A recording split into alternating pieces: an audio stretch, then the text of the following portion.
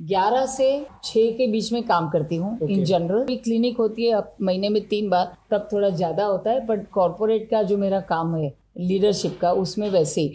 क्यों? क्योंकि मुझे मेरे बेटे के साथ 150 परसेंट देना है। मैम तो जब वो जन्म हुआ सुबह उसको मैंने टाइम दिया उसको स्टोरीज की so he build his personality मैंने कम से कम उसको तीन हज़ार स्टोरीज बोली है। बारह साल में। हमारा सुबह का टाइम रहता था अब वो बड़ा हो गया खुद ही पढ़ता है। अच्छा खुद ही पढ़ रहा है तो और हम करते हैं बैठ के बोलते हैं ये बहुत अच्छा है पढ़ो। वो मुझे बोलता है मम्मी ये बहुत अच्छा है तू पढ़। तो हम दोनों शेयर करते तो अभी दोस्ती हो गई। पर पहले छोटा था तो ये उल करने के लिए मैंने तय किया खाना बनाना ये मेरे लिए इम्पोर्टेंट नहीं है उसके लिए। इम्पोर्टेंट है कि उसका मैं कैरेक्टर बनाऊँ। जी।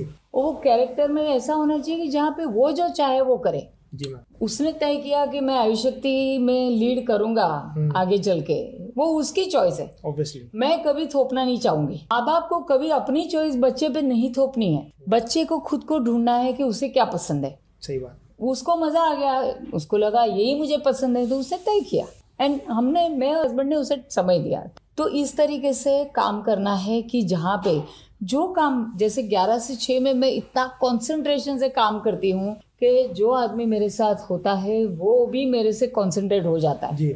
और उसमें से रिज़ल्ट आते हैं। मैम लेकिन छः के बाद मैं जो है कि थोड़ा सा हल्का वॉक करने के बाद मेरे बेटे के साथ टाइम बिताती हूँ वहाँ पे सिर्फ़ हम मज़ा मस्ती करते हैं। यस यदि हमें काम की बात करनी है तो हम उसका एक टाइम फिक्स करके रख hmm. तब करके हम नहीं करते बात। तो इस तरीके से आप जब डिसिप्लिन लाइफ जियोगे तो हर चीज़ में अपना योगदान दे सकते हो। सही बात उसी तरीके से मेरा जो दूसरा परिवार है जैसे देवर ननन मेरा भाई उन्होंने मुझे बहुत मदद की। जब भी मैं बाहर करती थी मेरे को संभाला। सामने मैं उनको मदद करती हूँ दोनों से एक दूसरे से ऐसे तो नहीं होता। हम हमेशा कंप्लेन करते हैं सारी लेडीज़ अरे मेरी सास तो मुझे मदद नहीं करती मेरी ननद मुझे मदद नहीं करती। लेकिन पहले आप मदद करोगे तो वो सामने से आएँगे मदद कर। तो इसलिए जैसे मैं डे वन से शादी के बाद सिर्फ़ मैंने ये सोचा मैं इनको कैसे कुछ दूँ उनकी ज़िंदगी में? ताकि मेरा उनसे रिश्ता अच्छा बना रहे हमेशा। तो उसके लिए मैं टाइम निकालती हूँ सैटरडे संडे को। तो उस तरीके से जिएँगे तो मुझे लगता है हर चीज़ हम कर सकते हैं।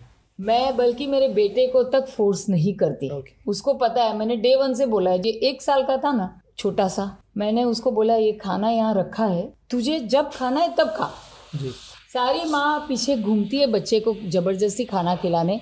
मैंने वो नहीं किया। मैंने बोला तेरी चॉइस तू लेगा। I want to make you saksham to take the choices. Right.